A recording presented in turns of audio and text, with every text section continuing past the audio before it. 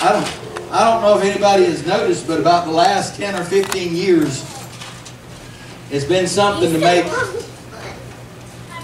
whenever you're making something scary, to have to have zombies or something where people, you know, they lose their they lose their worth, they lose their life, and they start walking around as dead people. Well, can I tell you that's been in the Bible for years? It's called the lost. Amen. But how many knows that God wants to find them? Amen. He wants to find them. And He wants to go and use anything to minister. And as I said, it's so easy for us to get tunnel vision. I don't know about anybody else, but sometimes we get our eyes on even blessings in church. We see somebody in church that's getting blessed, and all of a sudden we get a little ticked off about it. Lord, I'm over here. Where's my blessing today? Well, you know what? There's a time in church that you got as much blessing out of somebody else getting blessed as you did out of you getting a blessing. Amen? And isn't that what our difficulty is? Everything in this world is pointing to scream the loudest. Be the squealing wheel that gets oiled the quickest. You be the one that's screaming out all the difficulties of life. But can I tell you this? If you do that, your wheels will squeal all the time. Y'all are looking at me like I'm crazy today. They will. If you want to always be heard, can I tell you what? God did not call us to be heard.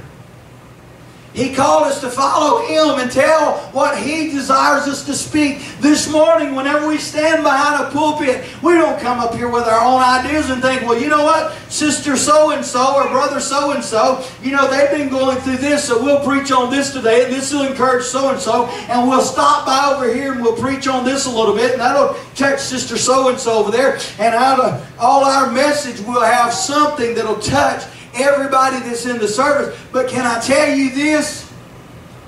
If you just do what God wants you to do, everybody be touched.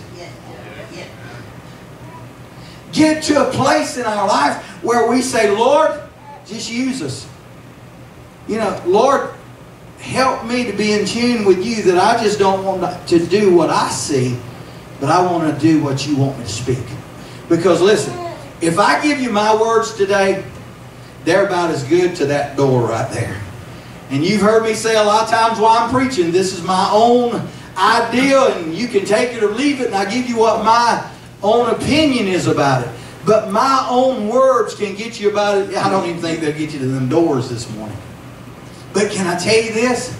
If we can speak and hear something from God, I don't know about anybody else. We, and I'm just talking about me and Sister Rhonda, she has been going twice as much as I have. And it seems like I can't, I, I mm-hmm. can't get caught up. I, I, I mean, I, I told y'all last week that exhaustion just seems to be like part of life anymore. It's just getting to a point. But how many knows this? We've got to take care of ourselves. Amen. Everybody that's in here, we got to take care of ourselves. You need to make sure you're getting enough sleep. You need to make sure you're eating right. You need to make sure that you're getting enough vitamins. You need to make sure that you're doing everything you can to be as healthy as you can so you can have this body that belongs to Him. It's not mine. I'm just occupying it for a little bit till He calls me home. But this body belongs to Him. So anything that I do, I want to be a vessel of honor or someone that can speak for the Lord. And what happens is, whenever you come in here and you're tired and all of a sudden you sit down at a piano or you start singing a song and all of a sudden the song goes deeper than just your lips singing voice, singing out a, a, a voice or singing out a word, all of a sudden your toe starts going and your heart starts because you start worshiping the Lord with within, not just without, with everything that's within us. And so that's what I was thinking about whenever I was over there at the piano. Whenever I was thinking about that evidence. God, help us see the evidence. I said it like this for years. If we could, you know, forensically look at our life, we would see God's fingerprints on everything. Amen? We would see God's fingerprints every day of our life because God intervenes for us. Now, I've got something I want to kind of preach uh, to you this morning, and I think it's going to be a blessing to you. You have your Bibles? Turn with me to Luke chapter number 23. My mic on? Yeah, I think I lost it way while ago I was. I, I done burn up three three sets of batteries today, so praise God, hallelujah. I don't think I need that thing anyway. I think I'm going to be a little loud today. Whew. Let me get my scripture here. Praise the Lord, hallelujah. All right. Turn with me, I'm sorry, it was uh, Luke chapter number 22. Now I want to start kind of just uh, give just a we're going to start reading in verse number 31. But I'd encourage anybody to go back up and basically it's the uh, the Passover, and so they're meeting together, and different stuff is going on. We see that later on in the in this chapter as well. They they talk about who's going to get to sit next to Jesus, or who's going to be the most important in in heaven, and all these other things. And then in the middle of all of this, Jesus looks over to Peter and speaks these words. And this just kind of, it, it kind of blows my mind. It says, And the Lord said, Simon, Simon, behold, Satan hath desired to have you, that he may sift you as wheat. Hmm. But I have prayed for thee, that thy faith fail not, and when thou art converted, strengthen thy brother when thou come through that temptation. And that word converted means when you overcame the temptation. Then you go to your brothers and your sisters and you help them overcome the temptation as well. Amen? It's talking about us needing help. Amen? Us needing somebody else in our life. And if any of us have ever drawn the conclusion, and I'm going to finish reading that in a minute, but if anybody has ever drawn to the conclusion that you're going to get good enough that you don't need Jesus' help, you're going to be fooled. If we ever get to the point where we say, Lord, you take it over there, I'm going to take care of this one. You have a seat, and I'm going to go through this one. Anybody that's ever served the Lord any length of time, you know what I'm talking about. And you know what happens is, you come back to Him beat up, bruised, and say, Lord, could you help me for a minute? And you know what He does? He picks us up and carries us through. I can't make it through any storm in life without the Lord. I can't make it through anything in life without Jesus helping me. So here we're reading, and in the midst of them having a just a time around the table, and all of a sudden he speaks and he says, The Lord said unto Simon, Simon, behold, Satan has desired to have you that he may sift you as wheat. Now listen, sifting as wheat means this, simply one thing. Satan wants to have you so he can grind you up like powder. He don't want anything left. The Bible says that the thief cometh but to steal, to kill, and to destroy. And I've, I've told you this before. You know, it's not bad enough. The enemy wants to steal everything that God has done for you. He wants to steal it out of your heart. And sometimes we allow him to, and sometimes we got to go into the enemy's camp, and we got to get that blessing back, and we got to get that promise back, and say, devil, you might have stole that, but it is a promise for me, and I'm going to stand upon it from now on. But there comes time that we have to have more than just ourselves, that we have to stand and recognize that we are in a battle for our life, and the devil wants to grind us up like powder. He wants to steal everything you have. And then it says he wants to kill you. That'd be sufficient. To steal and to kill. But the Bible says he comes to steal, to kill, and to destroy. So here's how the devil's, and I'm not saying this is how he works or whatever, But it's not enough that he steals everything that God's done for you. And then he wants to make a show to every other person that's trying to follow God and say, look what your God. A time and a place where the enemy is coming against us like never before, and we have to rise up and we have to say, Lord, we need your help. So the enemy, he hates us, or he hates Christ so much, he not only wants to steal everything that God has done for you, he wants to kill you are kill your physical self. But then he goes a step further and destroy, and all, all it simply means is he wants to throw gas on you and set you on fire. That, that's that's the best way I can put it. That's that's the best. You know that he wants to destroy. He doesn't want anything to ever be remembered of anybody. He wants only thing to be remembered to you that you. He don't want anybody to remember that you were a God-fearing person that loved God with all their heart and loved the Lord and shouted and praised the Lord and was filled full of the Holy Ghost and led many people to salvation. He wants you to be remembered as a gravestone in a cemetery somewhere.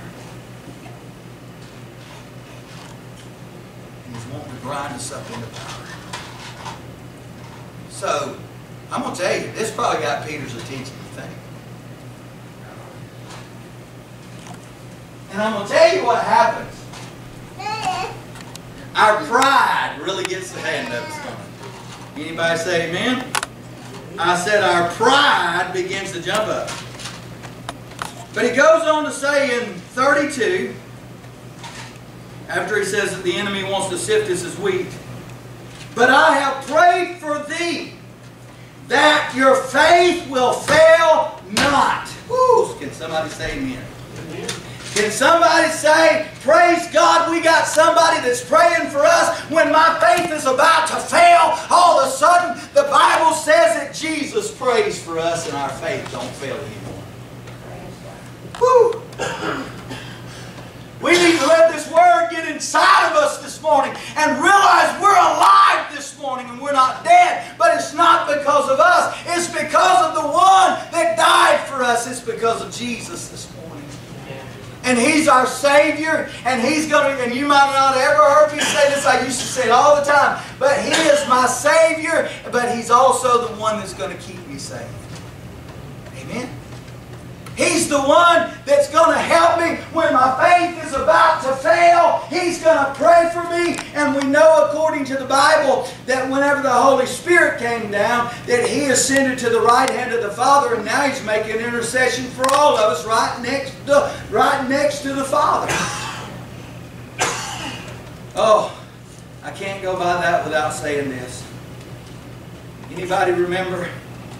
I believe it was Stephen that as he was being stoned, he looked up into heaven and he said, I saw, I see Jesus, is what he was basically saying. I see Jesus.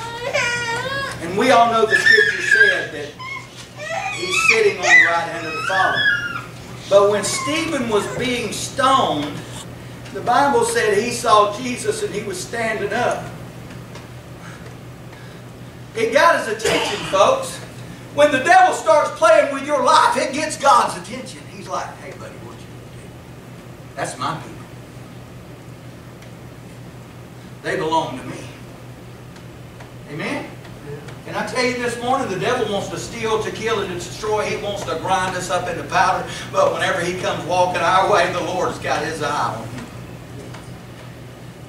And we might as well go by here the same thing that happened to Job, we can understand that Satan can't even touch our life or can't even look our way unless God gives him permission. Can somebody say amen? Amen. And you know why that is? Because God knows when He can let the enemy come and try to sift us. Amen.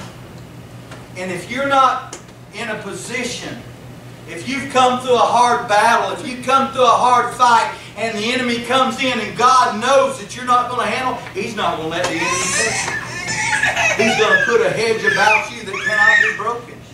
but He's going to keep us safe and He's going to put a love and a strength in our heart that we've got to look past just my physical or my situation of what I'm what I'm going through right now. Amen.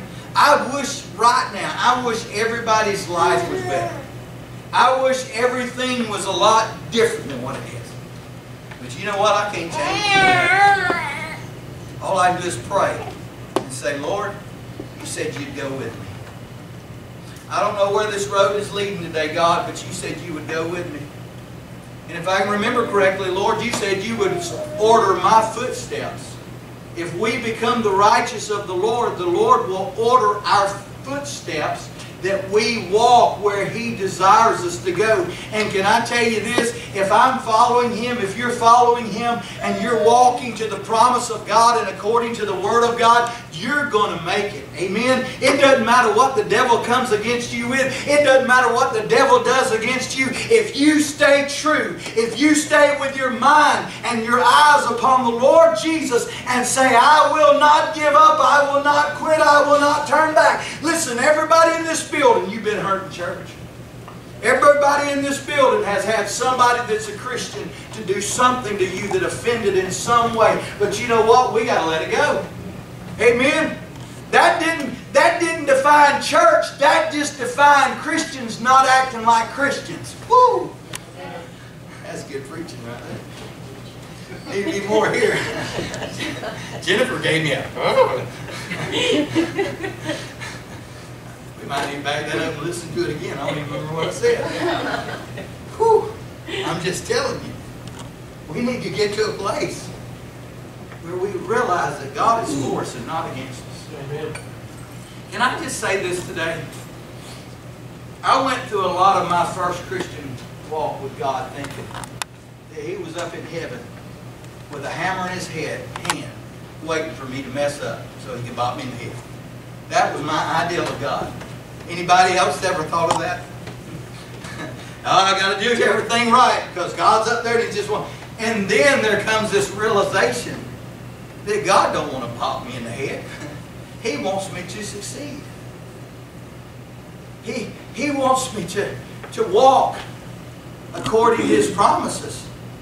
And that's what we're talking about today. We're looking into God's Word and we're seeing, in other words, what Jesus was saying to Peter, there's going to be some things in your life that you cannot handle by yourself. That you're going to have to need my help. That's exactly what he's saying there's going to come something in your life that you're going to have to trust and put faith. Because listen, we talk about this all the time.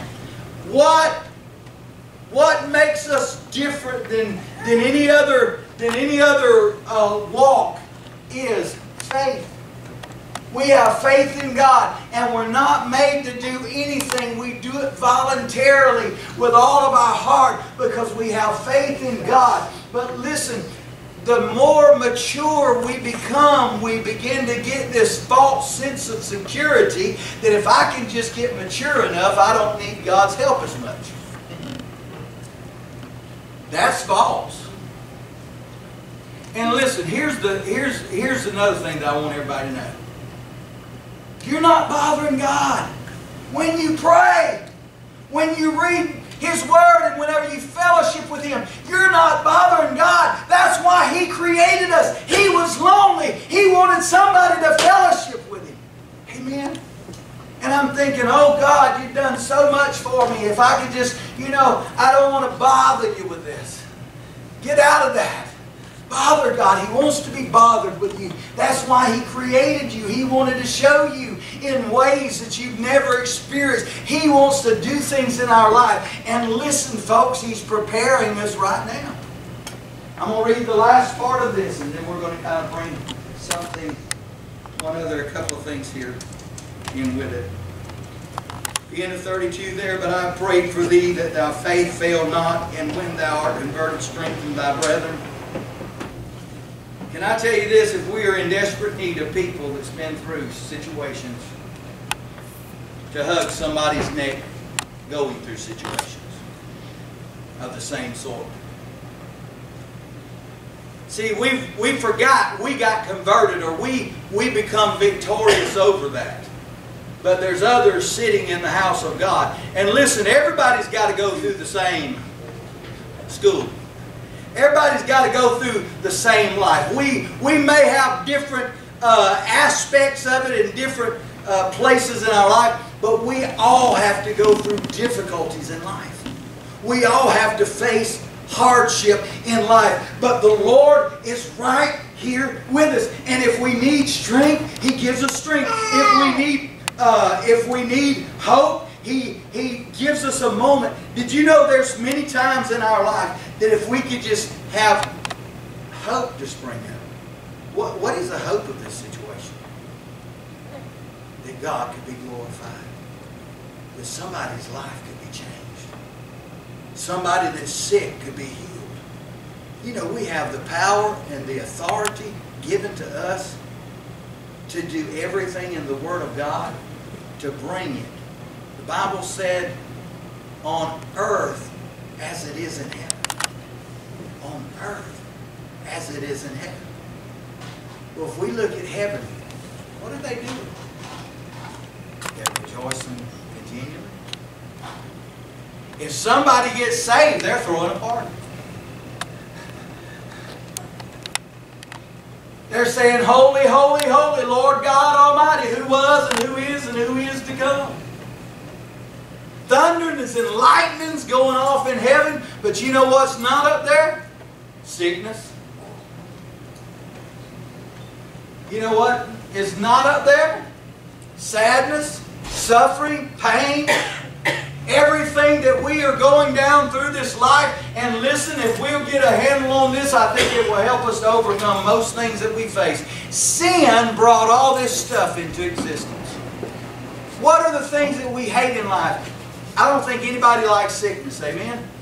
Nobody likes sickness because sickness brings about death. Amen? So nobody, nobody likes death. How did death get here? Sin. Look at all the look at all the failures in my life. What caused them? Sin. And if I get my eyes on that and say, you know what? I don't want to be a slave to sin anymore. I want to serve the Lord. Amen? So now we see a hope and a purpose that no matter what we go through, that we got all of heaven paying attention. As I said just a minute ago, whenever we was about Stephen and him speaking and, and him looking up into heaven, and the scripture saying that he saw Jesus standing, standing in heaven. When those stones were about to bring him to death, the Bible said Jesus stood up. I, I don't know how, I don't know when. It just says he was sitting down because we know he's always seated every time we read Scripture. That instant, Stephen himself, the one being stoned, looks up and says, I see Jesus. And he's standing. He's standing there. Think about that for a moment. So that means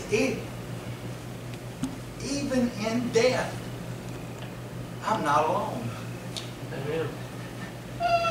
Even in death, God is going to walk me through from this life into eternity. And I'm not going to have to fear no evil. I'm not going to have to fear no evil because His rod and His staff, they comfort you and me. Woo. Thank God for that rod and staff. Mighty,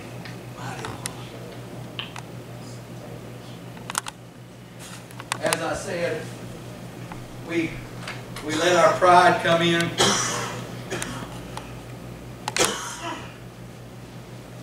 And then Peter says unto him, Lord, I'm ready to go with thee both into prison and to death.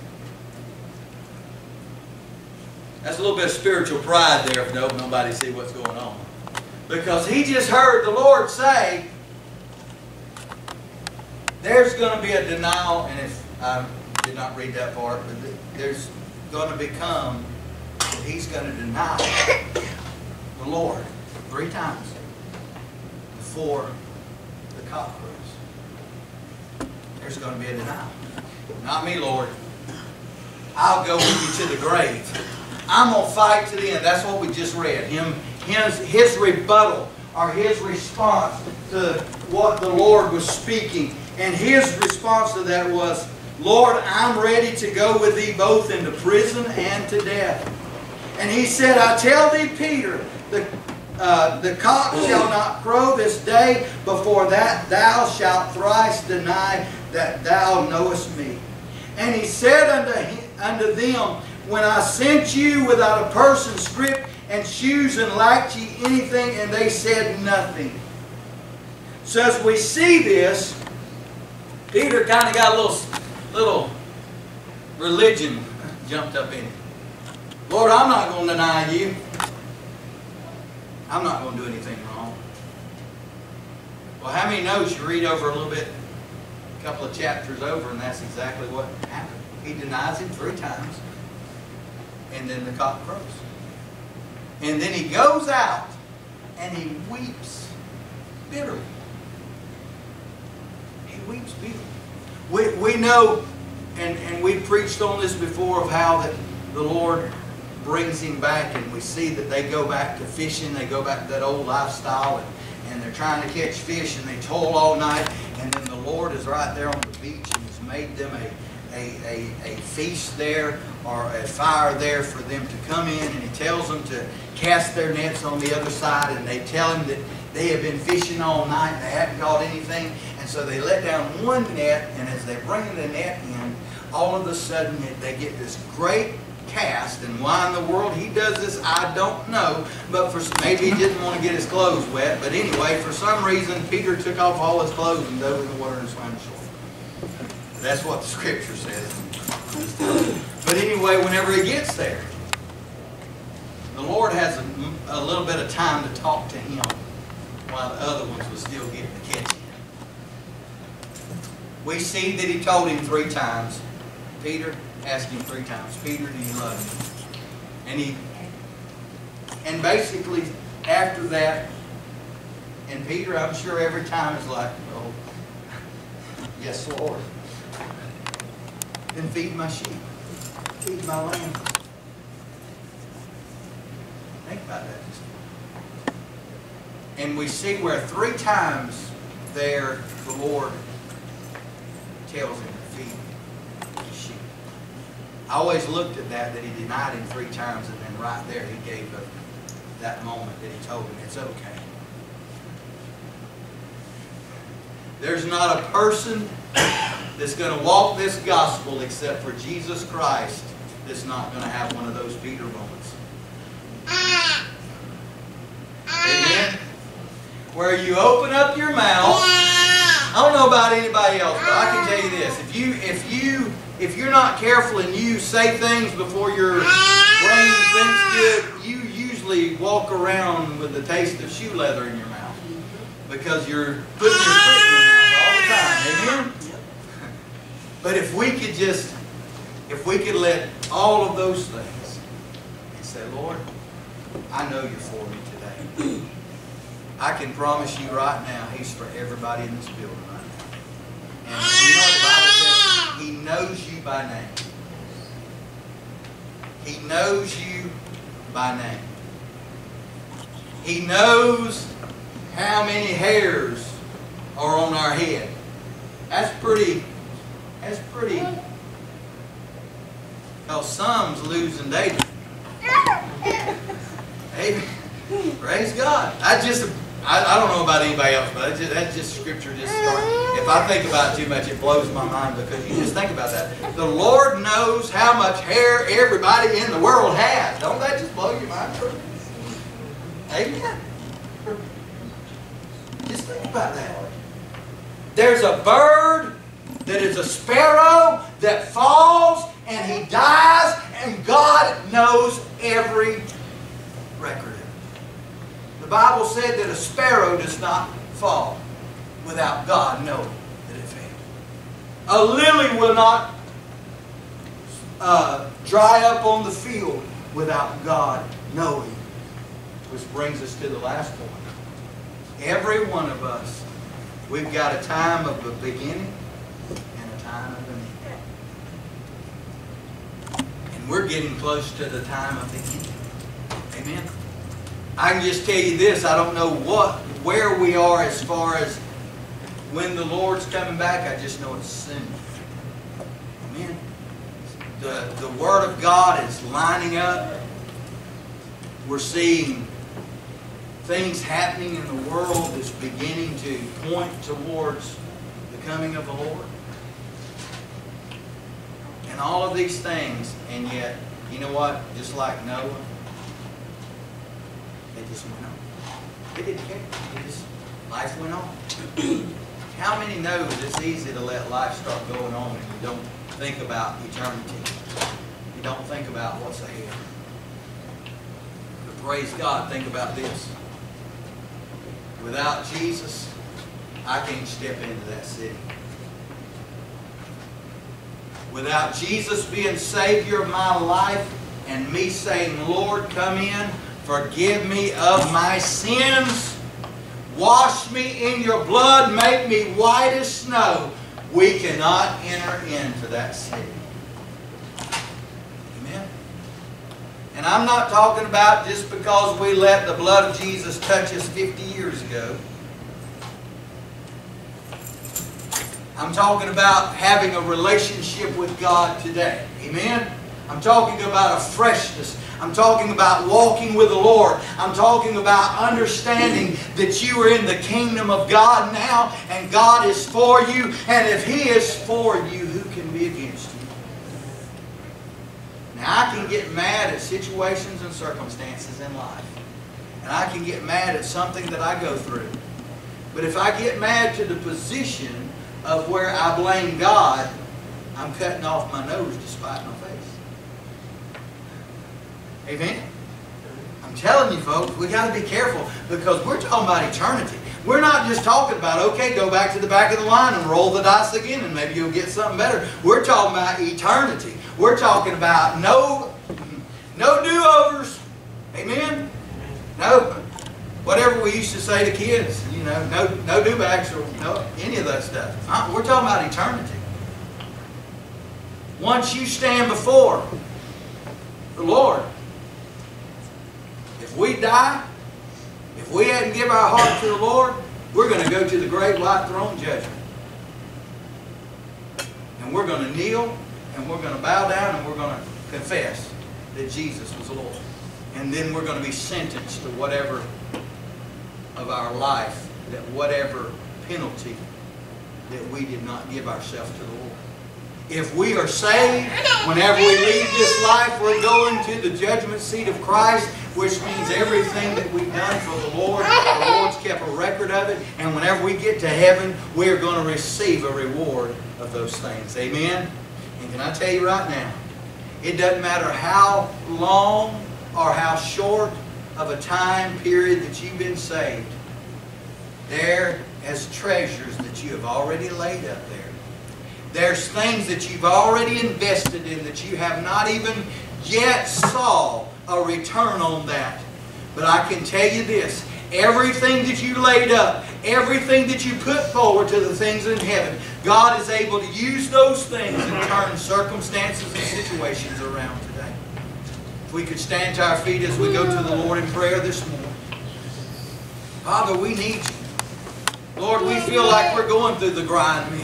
Lord, there's so many things that's happening around our life. And Lord, just help us to just stop and just be still just for a moment, God. And let you speak into our life. Lord, just to say, peace, be still. Lord, those that are going through sickness, God, for you just to bring healing to their body right now in the name of Jesus. Lord, ever, whatever may be the difficulty today. Lord, others today that need salvation, Lord, that they're running from you, Lord, that they may be running away from, from church and from uh, anything to do with you, Lord, but we're praying this morning that you would arrest them, God, that you would allow the Holy Ghost and fire to go forward, God, and to touch their heart and their life. Lord, don't let them die and go to hell without you, Jesus. Lord, our family, our friends, Lord, they're, they're not bad people, God. They're just not forgiven. Lord, they're not bad people. Lord Jesus, they're good people. And Lord, you want them to be into the family of God. Help us, God, to be a witness. Help us, God, to tell people about you. Help us to be an example, God. I think one of the, Lord Jesus, the difficulties that we need, Lord, is to walk the walk and not just try to talk the talk. Lord, let us walk and do what your word declares and not just talk about it all the time. Let us walk according to the promises of God. Let us hear your voice daily, God. Let us have fellowship with you this morning. God, we ask you to touch our heart and minister right now. We thank you, Jesus. While every head is bowed, every eye is closed, no one looking around. Would there be someone right now that say, Brother Todd, I'm not where I need to be with the Lord. Would you just be praying for me this morning? Would you slip up your hand? Slip it right back down. Any, anyone this, this day? Hallelujah. Hallelujah. Hallelujah. Praise God. Praise God. Father, right now in the name of Jesus, Lord, we need you. Lord, in this last days, God, we need you. Lord, to guide our footsteps. We need you to be a light unto our pathway and a lamp unto our feet, Lord. We need you, Lord, to help us to hide your word in our, in our heart that we might not sin against you. Lord, we ask you right now, Lord, to let us be an example in front of other people, Lord, that we want to walk a Christian life, that we want to be according to your word, Lord, that we want to dedicate ourselves and consecrate ourselves. And in doing so, Lord, that means that we also in our life that we got to rededicate ourselves to you, Lord. And all that simply means that we come before the Lord and we rededicate our walk with Him. We rededicate our salvation. We rededicate everything that God has done for us and we put it on the altar and we heat it up again and we let the fire of God begin to burn in our life. That's why the altar is so important. If there's things in our life that don't need to be there, it burns out the dross. It burns out the imperfections but it also purifies that that is pure, that that comes from God. Hallelujah. Hallelujah. Father, every one of us in this building, God, we want to be able to stand before you and hear, well done, thou good and faithful servant. Lord, we want to be able to stand before you, Lord, and know, Lord, that we have done everything we could have done to walk in your presence. Doesn't mean, God, that we're not going to have times that we've faltered and failed. But Lord, as long as we walk with you, there is a restoration. There is a healing. There is a fresh touch. Maybe right now, maybe you've gone through a hard situation and maybe you just need to be restored. Maybe you need to make that commitment to the Lord to say, Lord, I just want to rededicate myself to you. Hallelujah.